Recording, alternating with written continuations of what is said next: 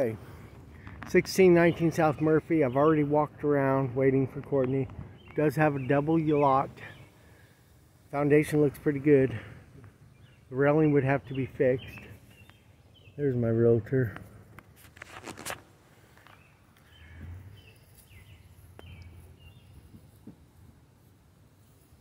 Oh, okay, good. So it's there. Okay.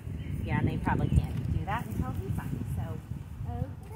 Well, very good. Thank you so much for confirming that. Okay, have a good one. Oh gosh, I'm gonna try. We'll see. Thank you. Bye. I walked. Still in there. No, they left. I walked oh, all. I thought they were in there. I'm sorry. No, before they got here, I walked all around, checked the foundation, looked underneath, power's on. Uh, lock boxes on the ground in the back. on with the ground. Well, on the porch with, Oh. and it's got a padlock on the back door. Is that where you go in? Yep. Okay. Sorry, I was trying to figure out the Daryl situation. Didn't you guys close yet? Well, he was waiting to go back in today to sign till the money got there because it wasn't there yet. Oh, Daryl. And he's um, at home because his AC's having problems. Yeah, he called the AC guy. Yeah, so he had to stay out there to meet him. So, Adrian couldn't handle the heat no more. I mean, oh, is that why? Yeah, he called me. That's funny. Yeah, he said he's having to replace a wire, which is going to cost a couple hundred dollars by itself. But he's not sure if that's going to actually fix the problem or not. Well, the roof's in good shape. good. I walked around, like I said, the foundation's good.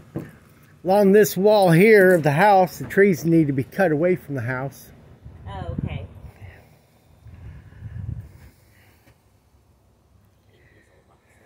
I like them in a hand Uh, because I can't connect to them through Bluetooth.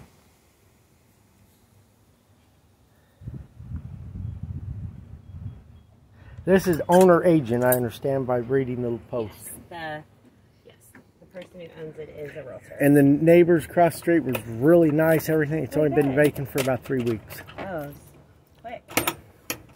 Okay, so he's been renting it and then decided to sell it. Yeah. Okay. Yep. Holy yikes. Somebody really, really bad on this one. Yeah, we know flooring, lights. Yeah. Well, I know the photos. I mean, you could tell it was pretty bad. oh, yeah. Okay, so No water on, so who knows. And it's sold as is.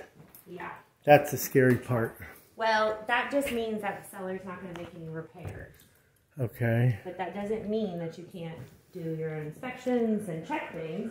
And we would just have to get him to agree to turn water and stuff on. Now he could say no, and then we'd have to decide from that. But Yeah. As is doesn't necessarily mean that they won't turn on utilities because he already has the electric on. I noticed we got two fans. There's your fuse box. Yeah, that's That's tiny. yeah. It's real small. That's the only fuse box in this house, I think. Mhm. I would say probably. Oh my gosh. Bathroom needs better, right? What I what I'm gathering also, He wants way too much for yeah, there's no central heat in there. Uh-uh. So window units, a lot of paint, a lot of flooring, a lot of walls repaired. Oh, this is not worth it. Look at the porch. Yeah, I know it. I mean, this whole thing's getting wet. Yep. So this would need completely rebuilt. Mm-hmm. This is a no-go for sure. I've already counted up about 30 grand worth of work. I've counted about 35 to 40. Yeah. Yeah, I'd say this. This needs too much for sure. I mean, it wouldn't be that big. Well, with the was a lot. windows and stuff, I thought it had an upstairs, but I guess not. No, that's just a dormer. It's fake. I think, It's attic, but well, when I send this to Chris, I'm going to tell him no. I, well, yeah, I would too. Well, because all of those need. Yeah, I- I'm They're under the windows. The whole porch needs. I'm up to about 50,000 now. I mean, the part was could be salvaged. The only best room there is is this room. Yeah, and it still is missing part of the ceiling. Yeah, but I mean, the walls are the best part. Yeah. I, I wouldn't touch these walls. No, these would be fine. But yeah, there's just too much work in there. Yeah. So this one's out. Yeah, this one's out, Chris. Sorry. Sorry, Chris.